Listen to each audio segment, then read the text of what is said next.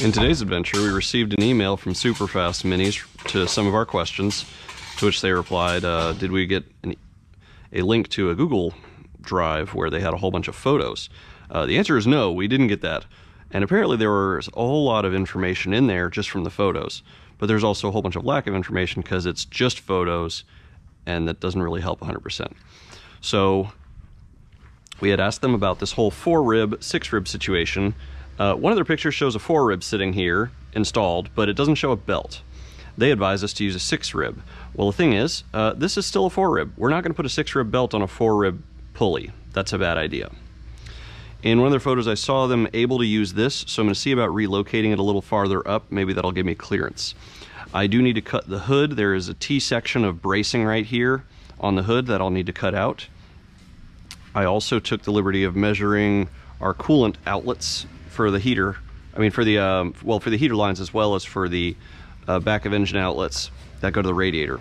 So we did get one of these beautiful Mishimotos with the fans as an upgrade over the uh, standard replacement, which also had the auto transcooler ports, which is a, a no-no on manual cars, especially race cars. So these are 1.25, and the ones on the car are, uh, are also 1.25. That's not gonna be a problem. However, the heater hoses on a Miata are 5 eighths. These guys are 5 eighths, while these over here, this one's 3 quarter and this one's 5 eighths.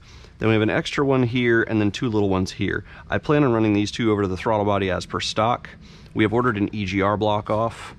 Um, I, I may just cap this off. I don't know. I need to see where I can run it to.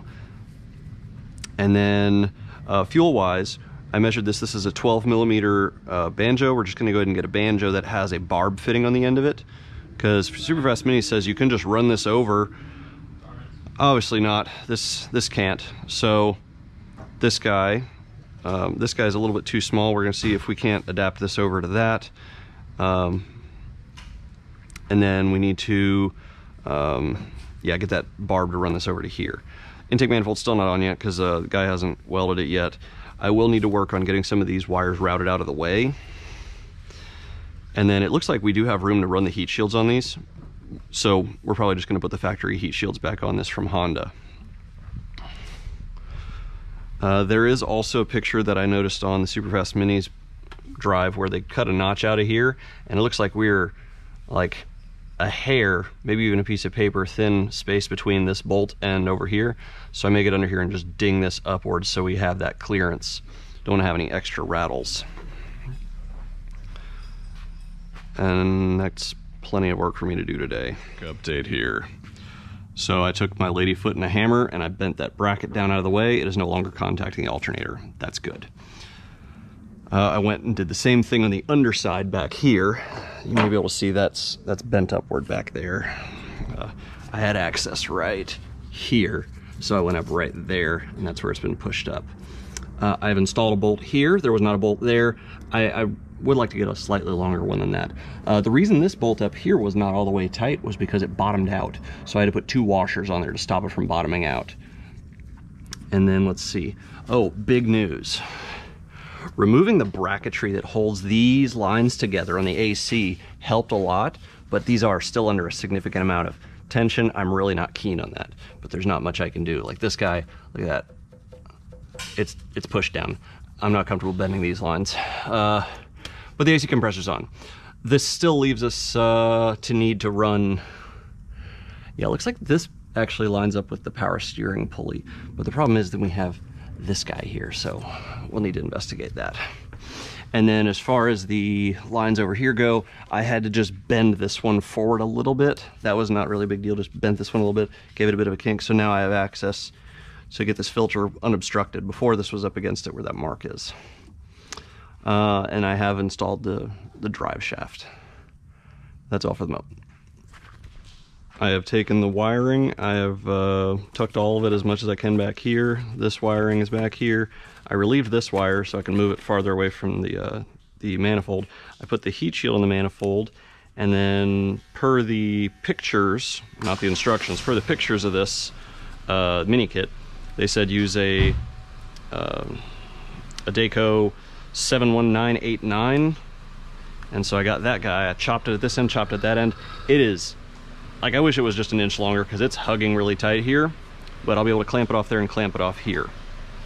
On this side, same thing, I just zip tied a bunch of the wires out of the way, made them look nice. Uh, obviously, you know, the radiator um, took care of those wires.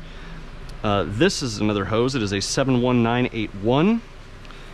No cut on that end. It fits very tight over there. And then we're supposed to tuck it under here. It's not the not the best idea, I don't think, but it is. There is no other option because it's to be right here. I may ding this out of the way. And then for our last hose, this is a, I cut it just here. This is a uh, 71478. So this will come off of the bottom of the radiator down there and then snake around some stuff and then it should line up to this. Now as far as mating these together, I'm guessing we're supposed to use the stock connection from the Miata. It can't be mounted anymore because uh, you know that thing I bashed out of the way. Uh, but I I didn't cut these super short. I cut these right until the next joint, so I believe we have a lot of excess here. I can always cut back some more. Mm -hmm. The AC. So it looks like the AC belt is uh, lined up with the power steering belt. They are both four rib. However, if you were to look over this,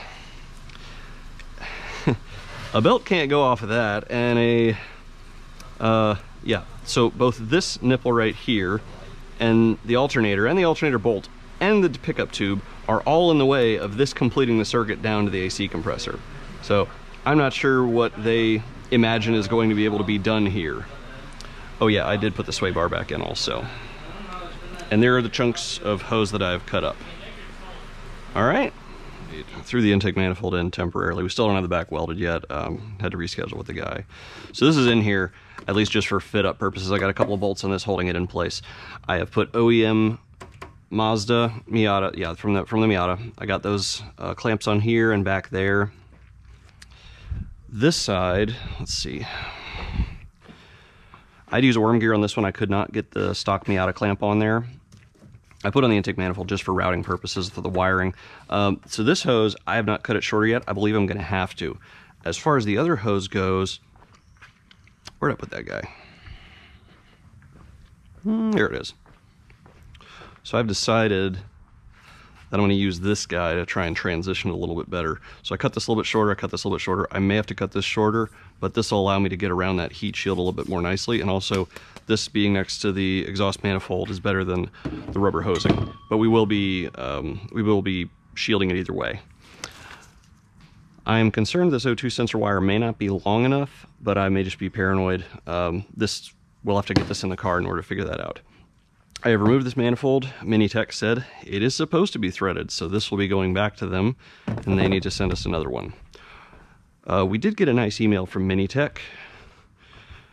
I think they're getting tired of us sending them questions, because uh, the last one they sent us a copy of those useless instructions again, as if we hadn't read them, or as if they had the answers.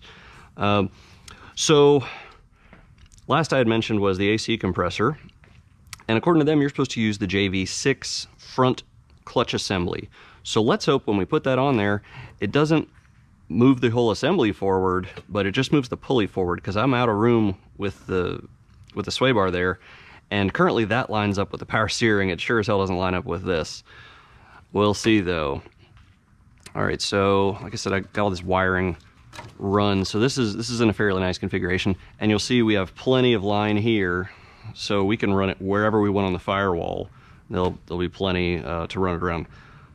Um, and you know, another thing that's not in the instructions is what do I do about this cable being, you know, mm, four or five inches too long?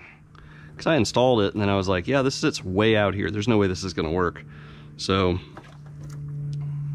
what do? Another question.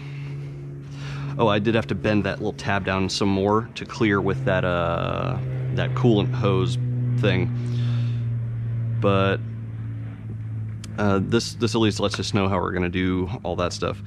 I may have to modify up that Acura cover. I had to take it off because, like I had said before, the intake manifold does interfere with it. Very important update. I have run into another not so happy moment on this thing. So I'm in here trying to hook up all the sensors and stuff to see where I can route them. And let's see if I can get the camera to see. See this guy? Can you see that guy? Yeah, this guy, how, how am I supposed to plug this in? Like seriously? You guys point this downward? There's room over here and you point this downward? Also, there's no note about having to cut the transmission here. Not happy right now. Quick little update. Took care of cutting the hood. Just a straight cut with a with my one of my smaller cutoff wheels, and then I rounded off all the edges. I really hope this is the correct cut, but it's what the instructions say, so what do I know?